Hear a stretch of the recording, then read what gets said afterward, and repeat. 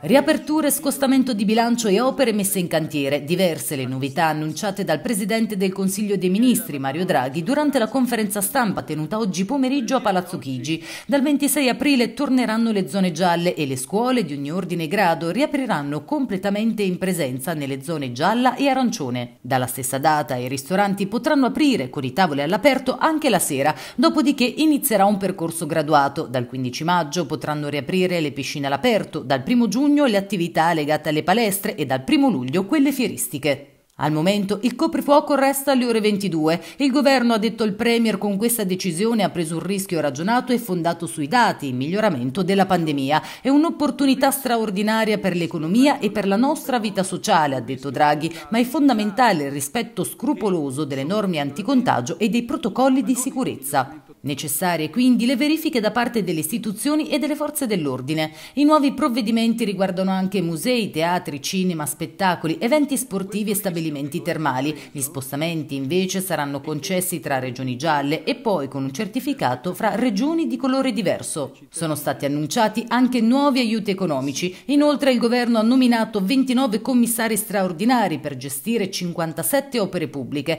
Tra queste rientra anche la Fano Grosseto e colui che dovrà occuparsi di questa importante infrastruttura sarà Massimo Simonini, amministratore delegato e direttore generale di ANAS. Altra buona notizia per le Marche è che, come da decreto e visto il calo di contagi e ricoveri, si conferma la zona arancione per la prossima settimana.